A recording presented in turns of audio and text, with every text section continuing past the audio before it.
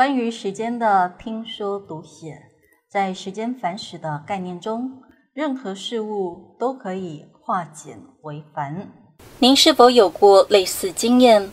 穿行在路上，因为一盏黄灯转红而停下，忽然想不起自己是如何来到这个当口，仿若所有路途的细节未曾发生。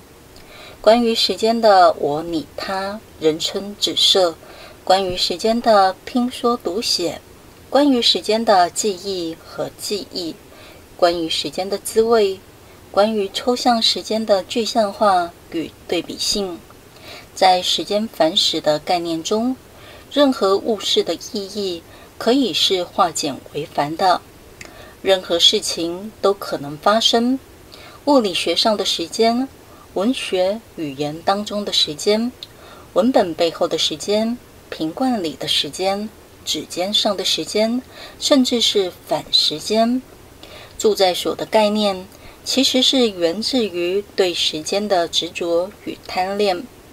物理学上，时间属于第四维，其准则在于时间的线性往往指向一个永不复返的未来。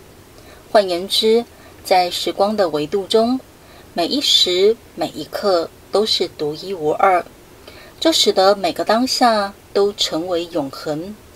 然而，永恒与永远有什么分别呢？当先走的人成为永远，剩下的人。可否背叛时间？倘若没有时光足够远，那么永远或许是一个太遥远的概念。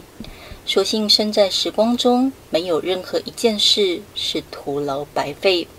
十方新闻记者赖一荣台北采访报道。